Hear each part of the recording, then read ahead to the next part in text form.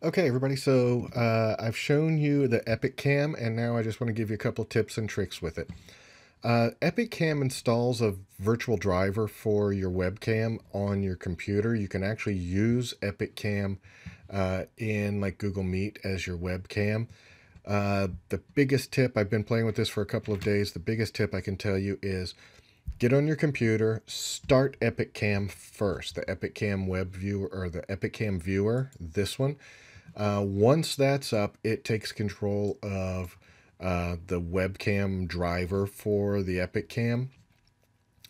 Um, I am using, like I said, the free version of it. So the free version of it is limited by two things. Number one, it has ads in it. Uh, so when the phone goes to an ad, the picture goes to sleep.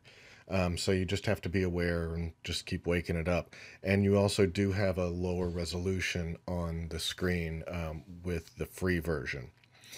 Um, because you can use this as a webcam, so if I'm here in my um, Google Meet and I go to my settings, under video, I can, um, when I select here, here's the EpocCam here.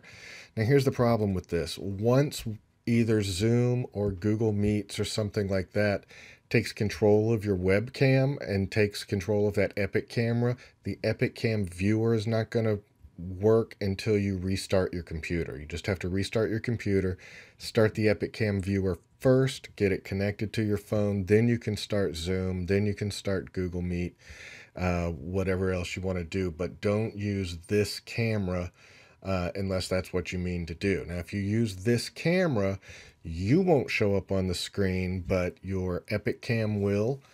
Um, EpocCam is um, it, it's set up as your camera, so it's showing you. Now, the problem with that is that unless students make you full screen, um, then you're not gonna they're not gonna see the presentation full screen. So just keep that in mind as you're uh, setting up EpocCam. So uh, EpocCam is available from Kinoni, K-I-N-O-N-I dot com.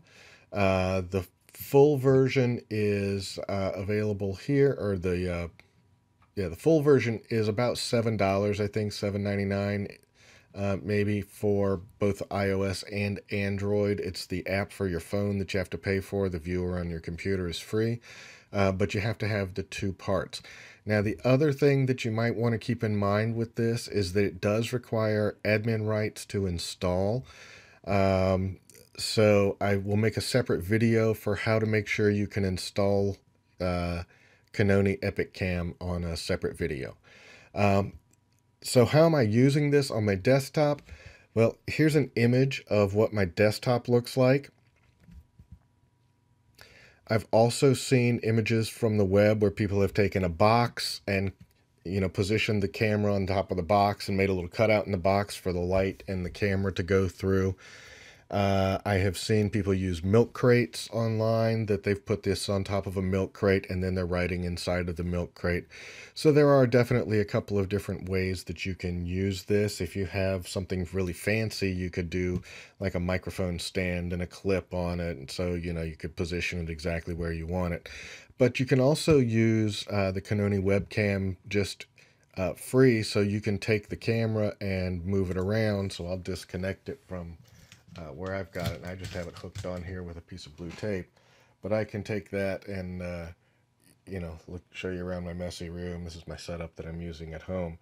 Um, but uh, it, it is available so that you can do that with it as well. So you don't have to be right in the same room. You could use this and leave this running and go out in the backyard and uh, show something on uh, in your garden or something like that. The webcam does have audio, so you can talk to your phone and it will broadcast the audio, but you do have to have the paid version of Kinoni for that. So I think that's it. If you have any questions on it, please don't hesitate to contact me. Uh, you guys know where I am, uh, and uh, hope you get some use out of this. All right, thanks.